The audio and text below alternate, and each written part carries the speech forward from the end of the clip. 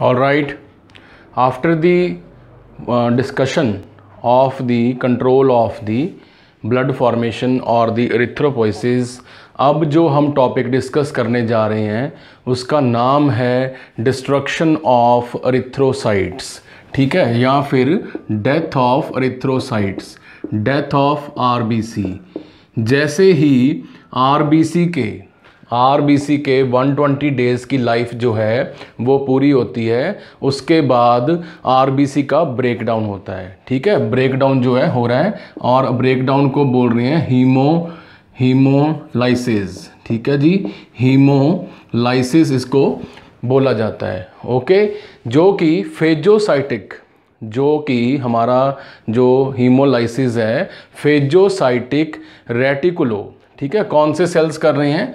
फेजोसाइटिक यानी कि फेजोसाइटोसिस करने वाले phagocytic reticulo reticulo endothelial reticulo endothelial cells जो हैं, ये कर रहे हैं हीमोलाइसिस रेटिकुलो एंडोथीलियल सेल्स ये जो सेल्स हैं, ये स्प्लीन कहाँ कहाँ पे पाए जाते हैं ये सेल्स ये सेल्स पाए जाते हैं जी हमारे स्प्लीन एंड लिवर ठीक है? स्प्लीन और लिवर में जो है आरबीसी की डेथ जो है, हो रही है।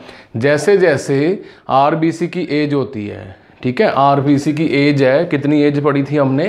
दैट इज़ ओके 120 डेज़ तो हमने देखा कि आरबीसी की जो एज है दैट इज़ 120 डेज़ और जैसे ही इनकी एज होती है 120 डेज़ आरबीसी की जो हमारी मेम्ब्रेन है सेल वॉल है, वो क्या हो जाती है? आरबीसी की सेल मेम्ब्रेन फ्रेजाइल हो जाती है। फ्रेजाइल का मतलब है बहुत ही जल्दी टूटने वाला ब्रेकडाउन होने वाला। फ्रेजाइल मेम्ब्रेन जो है, वो हो जाती है और जिसके कारण इसका, जिसके कारण इसका हीमोलाइसिस होने का चांस जो है, वो बढ़ जाता है। हीमोलाइसिस होने का चांस है, बढ़ जाता है। ओके जैसे ही आरबीसी टूटता है जैसे ही आरबीसी टूटता है, इसमें से आयरन पार्ट, ओके, देन हमारा बिल्ली वर्डन, ठीक है? बिल्ली वर्डन भी कई टेक्स्ट बुक्स में लिखा हुआ है और विल बर्डन भी लिखा हुआ है। बिल्ली वर्डन नाम का जो कंपाउंड है, वो बाहर निकल आता है, ठीक है? 80 परसेंट जो 80 परसेंट जो हमारा आयरन है 80 परसेंट जो हमारा आयरन है आरबीसी के ब्रेकडाउन के बाद इट इज़ रिसाइकल्ड और we can say reused by the body दोबारा फिर दोबारा फिर, एक बार फिर आरबीसी बनाने में नए आरबीसी बनाने में ये आयरन जो है, वो यूज़ कर लिया जाता है 80 परसेंट. यही वो सीक्रेट है कि क्यों? हमारे जो बिलो पॉवर्टी लाइन हमारी कम्युनिटी है, लोग हैं अंडर डेवलप्ड कंट्रीज़ में उनका एचबी कम होने के बावजूद भी वो सर्वाइव कर जाते हैं।